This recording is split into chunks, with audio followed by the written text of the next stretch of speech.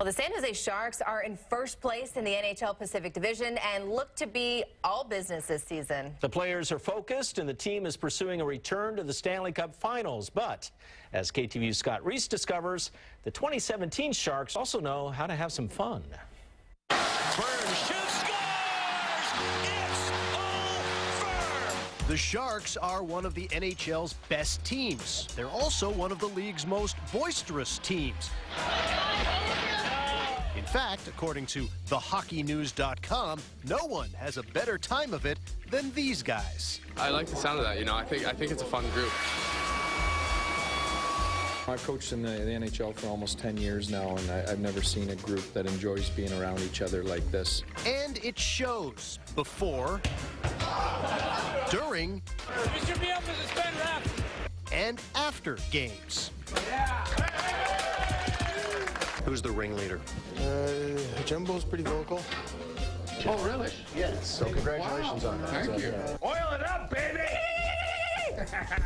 He's always keeping it loose and getting on guys and making sure, you know, they feel part of the team and, you know, playing some, some jokes and, and things like that. Joe Thornton might be the leader of levity, but with so many personalities in the room, there's plenty of play to go around. It's just a different day where you know someone else is doing something different. It's awesome coming to the rink in the middle of January in the dog days of the season, and, uh, you know, it's hard not to get energized being around this group. The Sharks' unique chemistry begins in the dressing room. It's evident on the ice here in San Jose, but it extends well beyond that. Planes, hotels, restaurants, because as it turns out, fun travels. Let's do this. The amount of time we're with each other, I think we're we probably log the most hours on planes and road trips and things like that. So it seems like we're always on the road together. So I think. Uh, you know, if we were, were to annoy each other, it'd be a long, it'd be a long, long year. So, Case in point, right there. so I think, uh, I think we just, uh, we've learned to enjoy each other's companies over the years.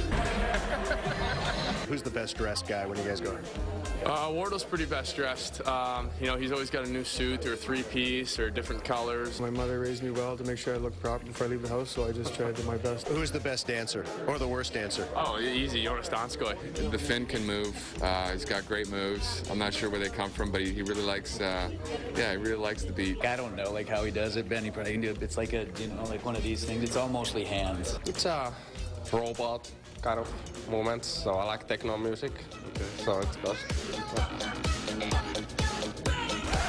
An ironic emblem of a team that is anything but robotic. The Sharks continue to keep it loose, and the results continue to speak for themselves. You know, it's a great lesson for anybody that does anything. I think, uh, you know, you want to be around people you enjoy being around. I think that's the number one thing, and uh, that's definitely the case here. I like that. In San Jose, Scott Reiss, KTVU, Fox 2 News.